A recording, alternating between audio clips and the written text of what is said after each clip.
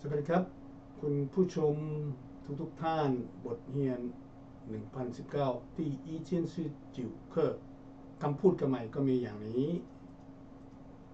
最冷， ช่วยเหลืองช่วยเหลืองหมายความว่า coldest เจชาปลาหนาวที่สุดช่วยหมายความว่า most เหลืองก็หมายความว่า cold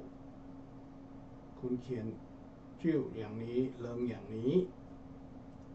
今天将是最冷的冬天。 今天将是最冷的冬天วันนี้จะเป็นฤดูหนาวที่สเอิ่มที่หนาวที่สุดอ่า冬天ก็หมายความว่าฤดูหนาวโอเคเจียงหมายความว่าจะจะอ่าเจียงชื่อจะเป็นโอเค 一月是最冷的月份，七月是最热的。一月呃是呃最冷的月份， 七月呃是最热的โอเคมกราคมก็คือเดือนที่หนาวที่สุด และกอกราคมร้อนที่สุดอ่าร้อนที่สุดก็คือจูเรนโอเค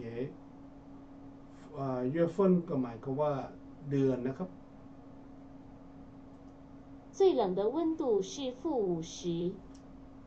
最冷的温度是 负五十呃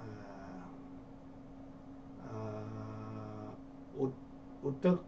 อุตกูมีที่หนาวเย็นที่สุดคือสิบลบห้าสิบเหมือนถูกก็คือ temperature ก็หมายความว่า อุตกูโอเคอ่าลบลงก็หมายความว่า negative โอเค หมดเท่านี้แล้วครับ มันหน้าค่อยพบกันใหม่ บ๊ายบาย